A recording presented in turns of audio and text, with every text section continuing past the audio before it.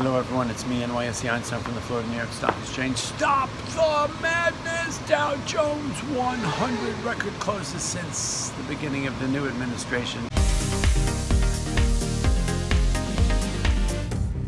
Not the reason the market's up, but it's a fun thought. It's the biggest record close in history. The S&P at 2930 spot 75. Dow Jones Industrial Average at 26,656, up 250 points, up 300 at its peak. Stocks are trading at all-time highs across the board. Why, oh why, oh why did I ever leave Ohio? Why, oh why, oh my, oh. Why is this happening? What's going on? I think there's money in the sidelines coming into this market. I think people are underinvested. I think people are covering a short. I think there's some window. I don't think you need window dressing for the end of the quarter, end of the year. Fourth quarter tends to be a positive one. At that, fresh money coming in in September.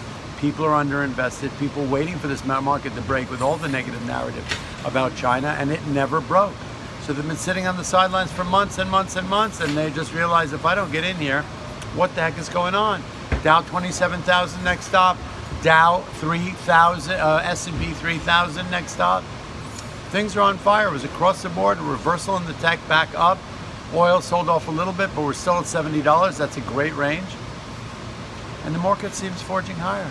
26,000, 2,900 are now support, not resistance. I told you about that. Market just got catalyzed by three days of up triple digits.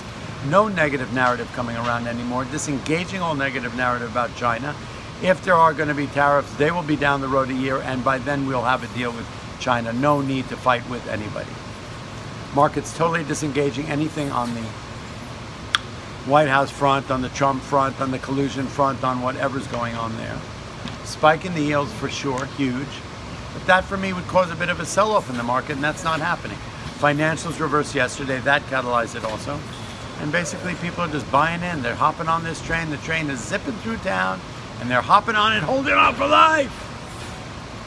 Next stop, 27,000, 3,000 the S&P.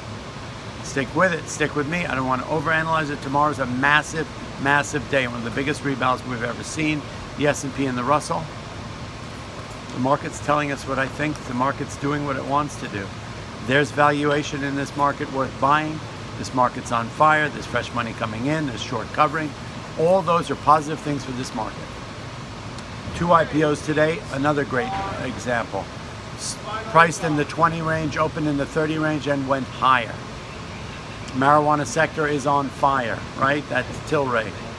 Trading from 150 to 250 all the way around. Anyway, stay with the market. Don't get excited. We may see some retracement and pause or consolidation. That would be a pleasure. That would be a buy opportunity. At the end of the day, this market is on fire. Stick with it. Next stop, to the moon, Alice. I love you. NYSE Einstein Inside Wirtschaft. I'll see you again tomorrow.